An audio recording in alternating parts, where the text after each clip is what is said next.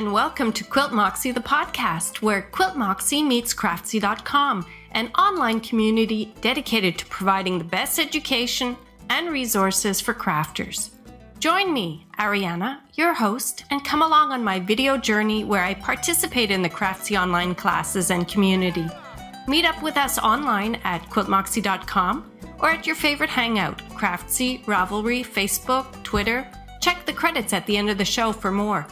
You can also subscribe to our mailing list to get your next and every episode with show notes delivered directly to your email as soon as the episode is available.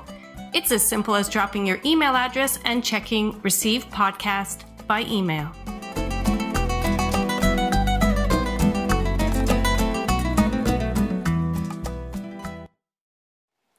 Hello, everybody, and welcome or welcome back to show number 16. Today we have balloons and a UFO in the gallery, more from our easy breezy brioche cal, and prizes. So let's get started in the gallery.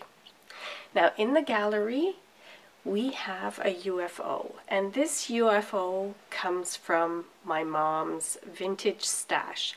Amongst all of her wool that she gave me, I found this alpaca sweater back that she had knit up and there are two other pieces that came with the bag and some of the alpaca wool. Now let me show you what I found. So, I have, I'm not sure what this piece is. I believe it might be the front or one side of the front of this cardigan. And here is a close-up of her knitting, which I find really amazing. I like her, her edge treatment. Let's take a look at that it comes, I think each row ends with a purl and then the following row is with a, a knit stitch. I'm not sure here. I'm going to turn it around. Here's the edge treatment and look how nice the, the sleeve edging is or maybe this is, I'm not sure. Anyway, this is one other piece of this cardigan that I have here in our gallery. And here's another piece. Look at this. Yeah, you can see all the uh, frogging that's happening. And what is the difference between this piece and the front piece I showed you and the back piece? From what I can tell, she knitted this plus the back with two strands of yarn. This is entirely knit with one strand of yarn. And there was uh, just a little bit of yarn left over, which I'm going to talk about when we get to our brioche cow. Um, so, but the point is there's just no way that even if I had the pattern, which I don't, if I had any more of this yarn, which I do not, that I would be able to complete her her cardigan that she had started. Now how sad is that? And um, I don't think it's that unusual because I know that as a quilter I've got a couple of UFOs that it would break your heart if you saw what's not finished. So in any case, when she gave this to me, she said it was alpaca wool and I should do with it as I please. And uh, she also mentioned to me that she did try to get more yarn, but there was no more yarn available for her to complete the project, so it just stayed in a bag all these years. And um, yeah, so I'm going to see what I'm going to do if I'm going to be able to repurpose this yarn. I'd like to use it for our brioche cow, maybe some of it. But it really breaks my heart to have to undo all of this cable and lace knitting. Really beautiful. So that's what's in the gallery. I thought um, maybe uh, maybe you too have some of these gorgeous UFOs lying around and you can see how how sad it is that the only thing I can do with this is maybe repurpose the yarn transform it into another I don't know what to do yet. Anyway, so that's one of the many UFOs that my mom has given me. Maybe I'll show you some more in another show. Let's move on to something a lot of fun. A lot of fun. The Easy Breezy Brioche Cow. Now when I started this cow, I put the word easy there because I thought, oh, I've been doing all these craftsy knitting classes and it's going along and it's pretty fun and nothing really that difficult. Well, easy, it wasn't for me. I don't think brioche was easy for me in the beginning. But now I believe I'm over the brioche hump and the first cal that we had which was basically the swatches and the hat um, that was the hardest cal so far. I have now completed two cals and the first project of the third cal. There's three cals for the whole Easy Breezy Brioche knit along during the summer. And now finally I feel that having put in that effort in the first cal especially um, means that the next cal and the cal what I'm knitting now in brioche, I feel that it's just reinforcing what I've already learned. So I'm to I'm pretty convinced that now once I complete the third cal, I'm going to be comfortable in brioche. That's that's what I'm saying to myself. We'll see if it's true. In any case, so uh, what happened with the first cow, we did have our first uh, drawing of the prize for the first cow, which was a knitting project bag. And I was so excited to award the uh, the knitting bag to Parul, who uh, I'm going to maybe show some of her projects here. I'll probably put some pictures in so that you can see what she was doing during the cal. And Parul was absolutely delighted with my knitting bag. I'm so thrilled. In fact, and she she's okay if I mention this, she wanted to contribute a donation to the podcast. This is the first time it ever happened to me. So uh, thank you so much, Parul. And as everybody knows, I'm doing this podcast as a tribute to my mom, for my mom. And uh, it's not necessary to contribute to the podcast, but uh, yes, I will accept it because there are costs involved and it does help and we can buy more prizes and give out more prizes which are just so much fun. So thank you very much again, Parul, and it was a pleasure for me to be able to send you the knitting bag and I'm so happy that you're enjoying it. So let's talk about some of the other prizes that we have in our Easy Breezy Brioche Cal. I showed you the last time the other um, knitting project bag that I came up with. I'll just show it to you again very quickly. So, oops. That was this one. And it's huge. You can definitely put in a sweater project and carry everything you need in this project bag. So if you want to see more on this project bag, you can go to Quilt Moxie, the podcast Ravelry group, and I'm sure I've got pictures posted there. Or just go back to, um, I think it was the last show, show number 15, where I showed the contents and what it looks like on the inside. Right now, I have another UFO in there that I'm not going to bring out. So we'll just leave it as that, at that. And it's a, a sweater size as well. For the last cal, where we're doing two color brioche, I used two free Craftsy classes and I created a drawstring knitting bag.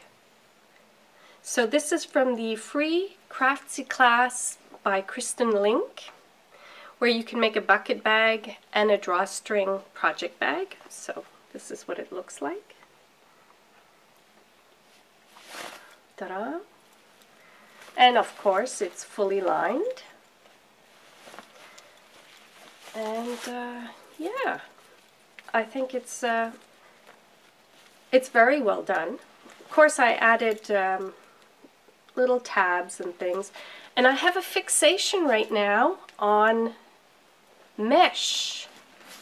So I added this, oh, Kristen's, uh, Kristen's uh, drawstring bag does not come with a zipper. So this I did add. I did add the zipper meshed area because I think it's kind of cool to maybe add, and that's what I did here, you can put your ball band in there so that you can see from the outside of your project bag, if you leave them lying around for like 30 years, like my mom, um, what uh, yarn you use, because the yarn that was used here comes with no ball band, so I have no idea. All I know is she remembers it was alpaca, and I don't know.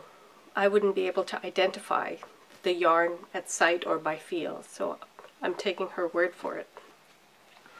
So yeah, you can uh, easily sign up for this free Craftsy class and sew up your own project bag. You can always buy some fabric for a friend of yours who has a sewing machine and get them to sew it up for you. And the other free Craftsy class, again by Kristen Link, is, um, what does she call it? A zippered pouch. So this is what it looks like. So I made it to match and I'm using sort of modern quilter fabric. And again, it's, oops, I have a pen in here, fully lined. And this is not part of it, but again, I have a fixation on this mesh. I don't know why. I just happen to like the mesh. So I added a see-through area for mesh, which is a very easy uh, modification to the pattern. This is also something that you can download and sign up for free and make your own zippered pouch.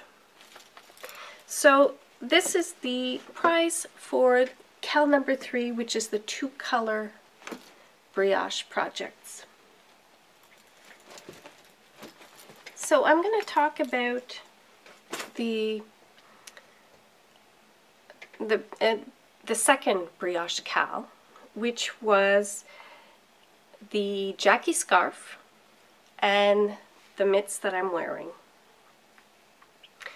So the Jackie scarf was from the class Explorations in Brioche Knitting by Nancy Marchant and I'm wearing it around my neck. And what I did was I turned the scarf into an infinity scarf instead of just the regular scarf that the pattern was. Again, I used mom's prehistoric, now discontinued wool, which is this one, and let's see, it's called Country Style by Sirdar, and yeah, I think if I were to knit the Jackie scarf again, I would probably double the yarn because it was just too fine. I would have liked it a bit thicker. And the first attempt at the infinity, let me just take it off here, at the infinity scarf, ah, okay, so What was fun about the, the Jackie scarf was that after a, a bit of brioche knitting, it was very easy for you to be able to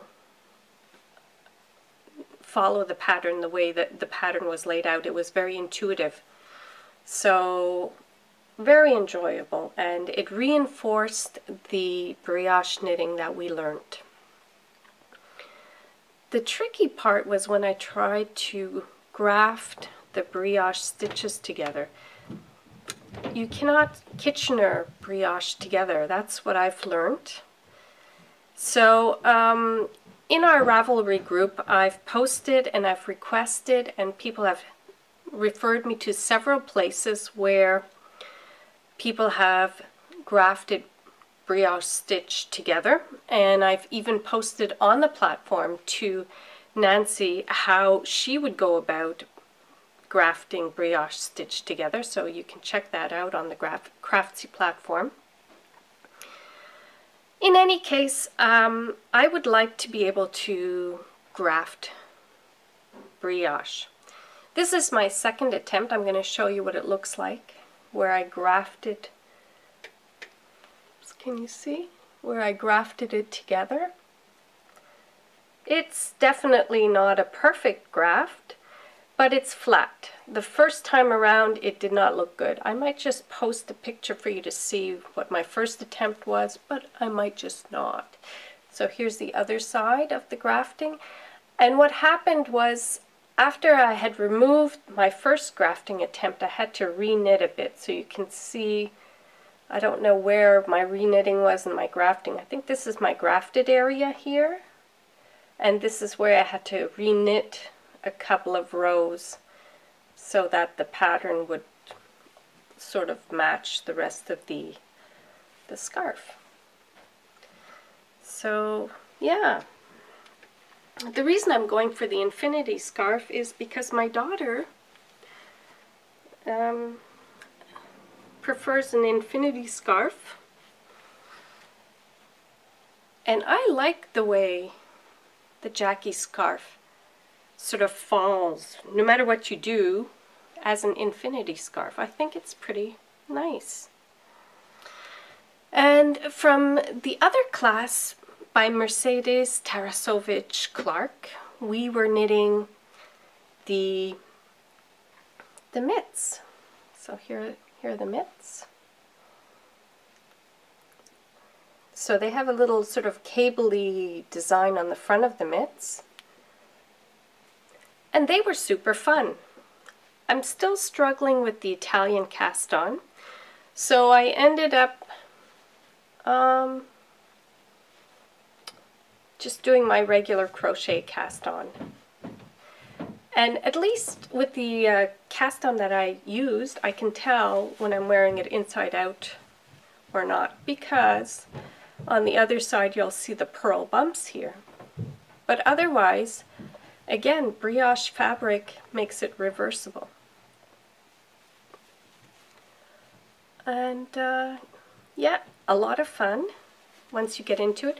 And when I knit it, I happen to knit my uh, mitts two at a time, and it, that worked out really well. It was a fast knit. I really enjoyed it. And I know they're going to be very practical for free motion quilting, for example, where in the wintertime your hands might just get a little bit cold while you're doing that under the sewing machine. But right now, since we're still in summer, almost everybody back to school, it's a bit cooler, but probably not cool enough for me to wear that. So I'm going to take off my gloves for now. I'll keep the scarf on for a bit because I believe one of our Participants in our Ravelry group wanted to know what the infinity scarf looked like when you were wearing it. So I'll just play around with it a bit so that you can get an idea of how the design falls when you're wearing it as an infinity scarf instead of a regular scarf. And the third KAL and our last KAL has two projects again. This time I started with Mercedes class, Brioche Knitting Made Easy, and she has the Brioche Vine Cowl. And I had two yarns that were very close in value. In other words, one was white, the other one is light gray. And I wasn't even sure if the pattern would show, but I really like the way it looks. Let me see if I can hold this far enough back so that you can see. And this wool has such a nice drape. Mind you, um, I did not get gauge with this wool. So I, instead of five repeats, I ended up doing six. And, let me just, you know what, I think I'll take this off so that you can see what it looks like when, uh, when you're wearing it as well. And before I show you that, you'll see on my edging, there's a white edging, and that's because I ran out of gray wool on my cast off row. So that's the difference between where I cast it on, so at least now I can see where I cast it off, and where I cast it off. I'm going to turn it inside out so you can see the other side. So on the other side you're going to see the gray with a white sort of background. So here's what it looks like on the other side. I think it's a little bit more subtle with the gray because again with color theory you know that the white sort of comes towards you and the darker color will recede so that's why this way, where you see the white on top and the gray as a background, I think the colors pop a bit more. So anyway, let's just put that on so you can see what that looks like. Oops. Which way? Does it really matter which way I wear it? No, because it's reversible. So I think it's going to be really fun to wear in the winter time. Or maybe fall. Very nice. And it was a lot of fun. I was surprised that um, having done our first cal, I was able to remember how to do the two-color brioche knitting. And uh, yeah, it was fun to knit because it was just reinforcing what I had learned. And now the last project in our CAL is the Alex Scarf by Nancy Marchant, and that's Explorations in Brioche Knitting. So for that project, I wanted it to become an infinity scarf as well. So this time it's with two colors, and I decided that I was going to repurpose mom's sweater. So I started doing some dyeing in the microwave with my food dye. So here are the three, no, four colors I ended up dyeing. Uh, so we have the pink, which is here, and then I turn that pink, it's very fuzzy, into this blue and this sort of maroony color. And then I turned it into this sort of olivey greeny color.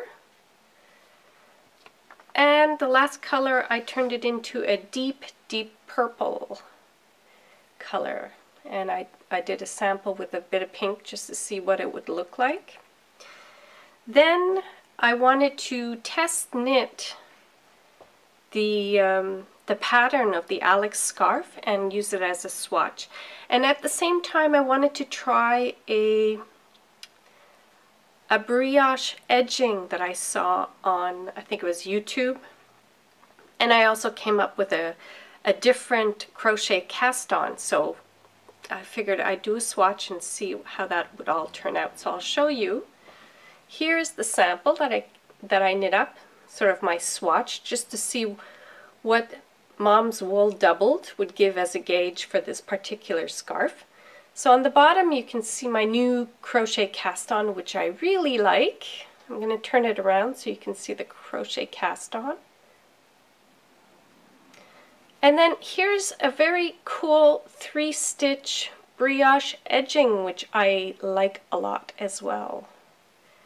I think I'm going to use that for my Alex scarf. And then I did all the different color combinations on the, uh, so I used the this color as the background color because I had more of it. And I knit all the different colors with it to see what I would end up doing for the Alex scarf. So that's where I'm at. And who knows? Maybe uh, I won't even use this wool for the Alex scarf and try something different or I'll have to pick sort of a color combination. So far I'm sort of gravitating to this combination which is a dark purple and original pink combination. But we'll see. Not sure. So, yeah. And that brings me to the end of our brioche cowl. The next time I will probably uh, talk about the, um, the winners of our brioche cowl again and show you the finished Alex scarf, I hope. I just remembered that I forgot to mention Knit Companion.